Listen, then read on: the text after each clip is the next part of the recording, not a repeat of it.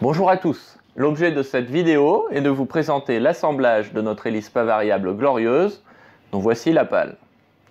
Si elle arrive comme ça chez vous, c'est pas qu'elle a été tordue pendant le transport, hein. elle a été conçue et fabriquée comme ça. Pour l'assemblage de l'hélice glorieuse, vous allez avoir besoin d'une pince à circlips, d'une pince plate, d'une clé plate de 7, d'une clé plate de 10, d'un tournevis plat, d'une clé Allen de 5, d'une clé Allen de 3, d'un embout hexagonal de 5 pour monter sur la visseuse et sur la clé dynamométrique, réglée à 11 Nm, d'un maillet et de frein filet moyen. Je vais commencer par vous présenter les pièces que vous avez reçues qui constituent votre hélice glorieuse. L'hélice pas variable glorieuse est constituée de trois pales avec leur palier, d'un triflex, une pièce souple qui reprend la force centrifuge, trois axes qui viendront tenir les pales, une petite étoile pour le centrage du triflex, les goupilles qui permettront de faire le contrôle en pas des pales avec le système de commande, deux demi-moyeux, la visserie, l'ensemble espaceur et platine de cône et le cône. Le système d'espaceur carbone, euh, exclusivité IPROPS, existe de moins 20 mm à plus 165 mm pour s'adapter à toutes les configurations moteur capot. Ça vous permet d'avoir un, un, ensemble espaceur hélice adapté à votre ULM sans surcoût et en prenant que quelques grammes. On va commencer l'assemblage par mettre les pales sur le triflex avec leurs axes. On sort les axes et les circlips. Sur le triflex, il y a un côté court, un côté long. Euh, c'est le côté long au-dessus. Après, sur les pales, on retrouve des gommettes de couleur, les mêmes sur le triflex. Voilà.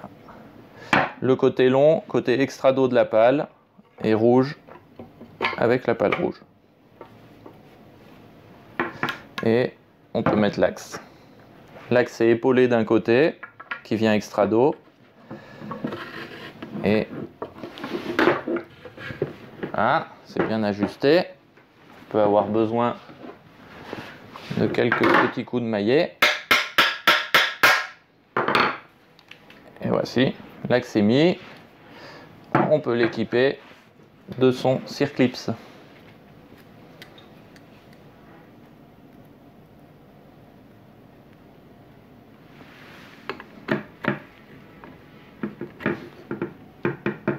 Et voilà, première pale, plus que deux.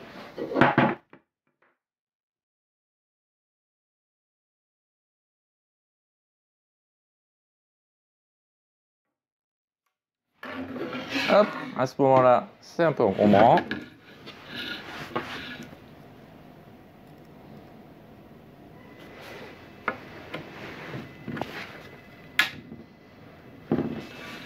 Et voilà, première opération. Donc l'opération suivante, c'est de mettre l'ensemble de pales triflex dans les demi-moyeux. Et pour cela, première opération, c'est de bien positionner les paliers au bon endroit pour qu'ils viennent se positionner dans leur logement, sachant qu'il y a ici une petite lèvre qui empêchera le palier de sortir. Et ici, il y a la même chose, un petit logement pour le palier, donc on vient les préparer. On a fait attention, avant de les préparer, à ce que la pale, identifiée par la gommette rouge, tombe bien sur le logement rouge, positionné avec le SU. Là, on prépare les paliers aligné sur le bord de l'insert alu et euh, contre le levier de commande. Et là, l'ensemble est positionné dans le demi-moyeu. Et pour mettre le demi-moyeu du dessus, il va d'abord falloir mettre les leviers verticales, ce qui est très facile à deux, faisable tout seul. Vous pouvez voir à la fin de la vidéo dans le bêtisier. Mais donc là, on va le faire à deux. Samy, moi, je positionne deux pales et voilà, à quatre mains, ça se fait très facilement. On peut vérifier que les pales bougent en prenant juste le demi-moyeu du haut. Rien du tout, il est venu. On peut enlever le demi du bas et vérifier que les paliers soient au bon endroit. Voilà.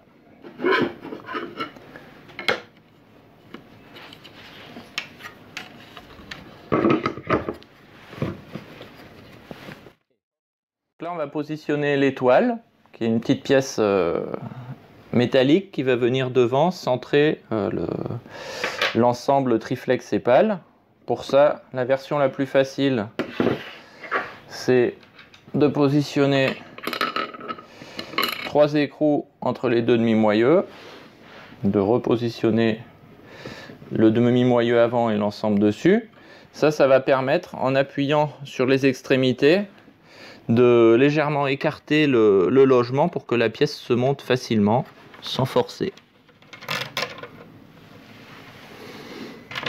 voilà. Euh, on appuie sur chaque euh, extrémité du moyeu et normalement la pièce monte toute seule et quand on est relâché elle est tenue. Et ensuite on vient remettre les écrous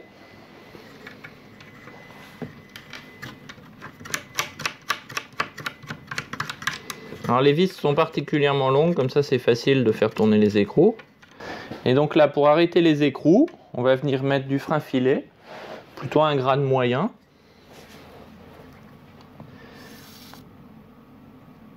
Hop. Voilà. Pas besoin d'en mettre 10 kg non plus. On approche les écrous à la main.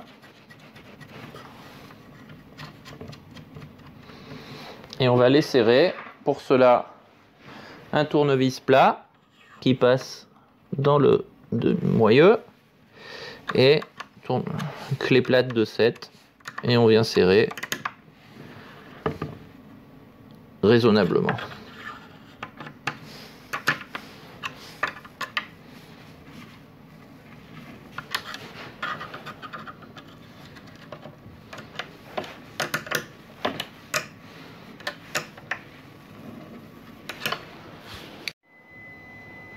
Ensuite, on va installer la visserie principale. Pour ça, déjà, on récupère nos trois écrous. C'est l'occasion de vérifier que les paliers soient toujours au bon endroit avant de les serrer en place avec la visserie titane fournie M6 par 22 vis rondelle. Check.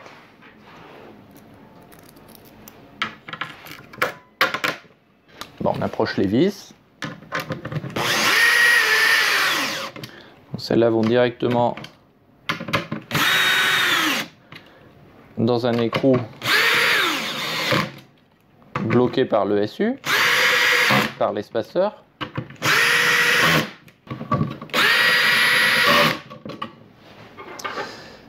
Et pour les extérieurs, clé plate de 10. Hop. On vient mettre l'écrou au bon angle dans le logement.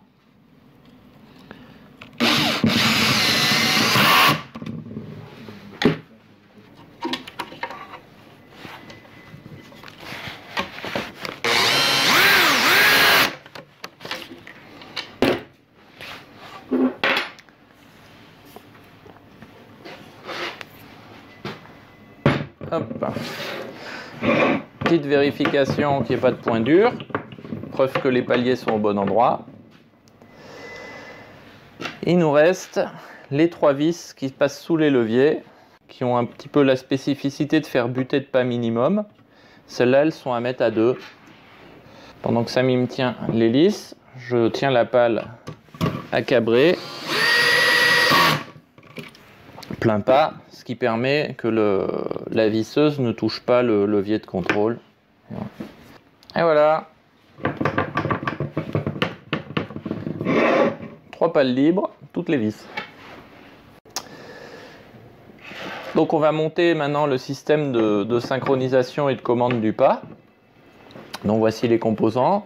Une tige, deux bagues de serrage, et le petit ensemble euh, et bielle livré avec bien sûr des repères de couleurs. La première étape, on positionne les deux bagues de serrage. On vient positionner l'ensemble.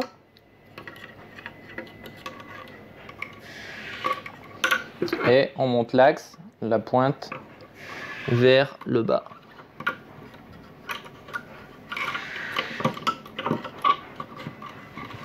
Voilà, donc là. Hop là Et là, bah, il y a deux bielles par, euh, par pale, une de chaque côté. On va venir mettre les petits axes. Pour pouvoir mettre l'axe entre les deux bielles et le, et le levier de, la pale, on va avoir besoin pour avoir la place d'augmenter un petit peu le calage. Et pour pas avoir tout à tenir en même temps, on peut venir positionner euh, le système avec une des bagues en haut et l'autre en bas de façon à ce qu'il soit déjà un petit peu plus haut voire même encore un petit peu plus haut. Et là on va pouvoir préparer l'axe et augmenter le pas de la pale pour pouvoir le mettre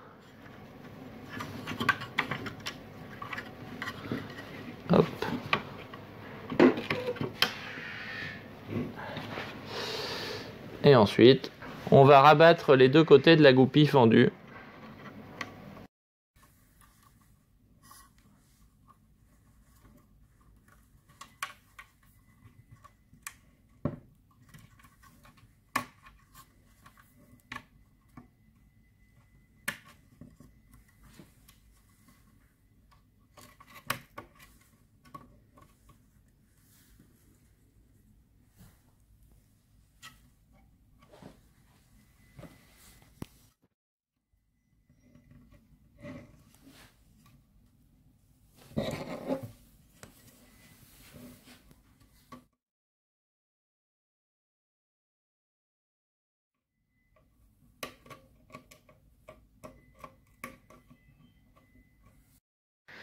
Voilà, l'axe est maintenu.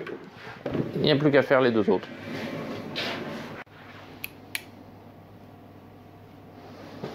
Et ensuite, on va appliquer le serrage, 11 Nm. On commence, une vis côté bord d'attaque.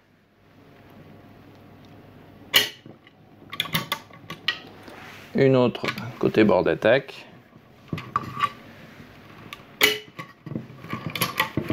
Une troisième. Et on enchaîne bord de fuite. Donc toutes les intérieures, il y a des écrous prisonniers.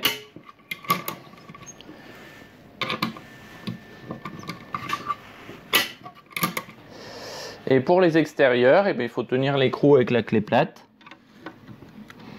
Donc on vient positionner la clé plate. Et on va appliquer le couple de serrage.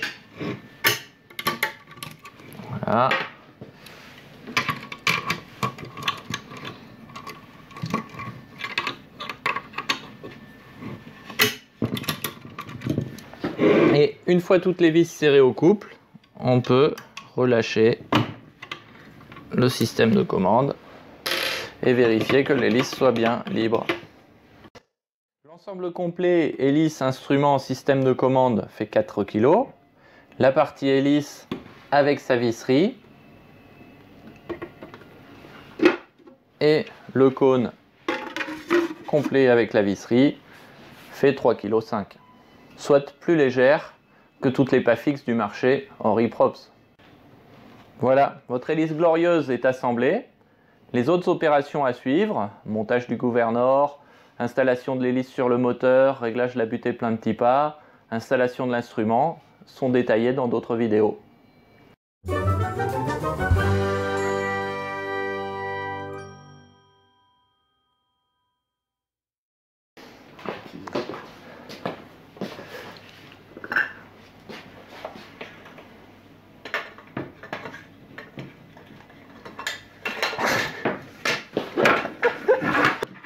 Hop. Avec. On tient une pelle avec l'aiguille. Ah voilà. Et là, il manque plus qu'à prendre